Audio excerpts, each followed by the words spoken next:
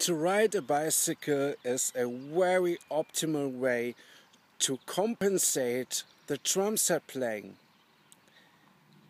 My name is David Krautscheid and what it is all about I will explain it to you right now.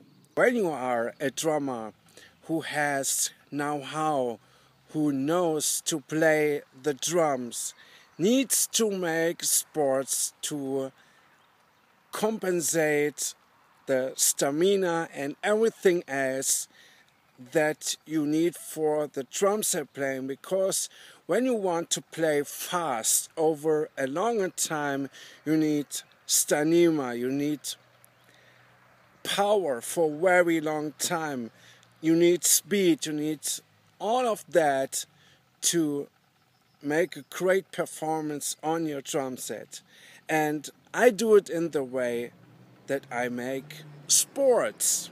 So I am riding my racing bike a lot to um, to have the stamina, to have everything that I need for playing my drums every time I play it over a longer time because when you don't make sports or, or when you don't make um, any stamina practicing or so, you have big, big, big problems. You lose power, you lose everything that you have when you don't make any kind of sports for when you play drums.